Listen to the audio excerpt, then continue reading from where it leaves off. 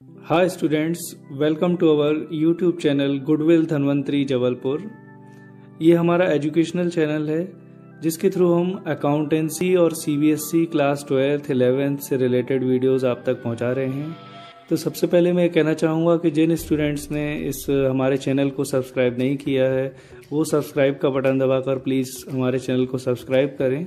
जिससे आप तक हमारे द्वारा बनाए हुए नए नए वीडियो जो C B S C twelfth eleventh accountancy से रिलेटेड होंगे, पहुँचते रहें आज के इस वीडियो में हम बात करना चाहेंगे क्लास ट्वेल्थ अकाउंटेंसी 2020 का पेपर कैसा होगा?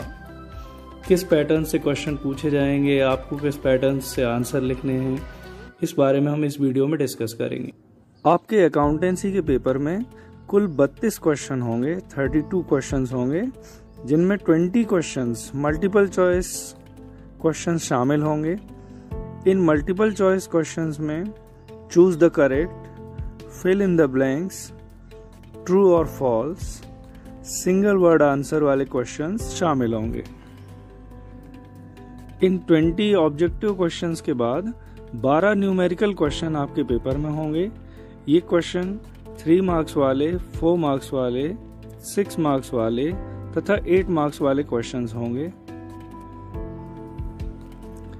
थ्री मार्क्स वाले दो क्वेश्चंस फोर मार्क्स वाले दो क्वेश्चंस सिक्स मार्क्स वाले वन क्वेश्चन एट मार्क्स वाले दोनों क्वेश्चंस में आपके पास ऑप्शंस अवेलेबल होंगे। आपको ध्यान देना है मैक्सिमम मार्क्स लाने के लिए 20 मार्क्स वाले ऑब्जेक्टिव क्वेश्चन पर कंसंट्रेशन होना ज़रूरी है। और पेपर में हाईएस्ट मार्क्स लाने के लिए सभी प्रश्नों को हल करना बहुत आवश्यक है।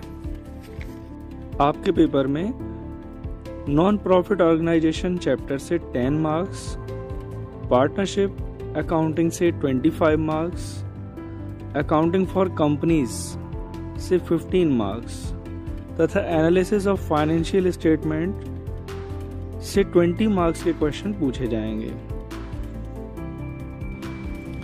तो स्टूडेंट्स इस मार्क्स सब डिवीज़न के हिसाब से आपको अपने पेपर की तैयारी करनी है और इन चैप्टर से किस तरह के क्वेश्चन पूछे जाएँगे, इसके बारे में हम अपने अगले वीडियो में डिस्कस करेंगे।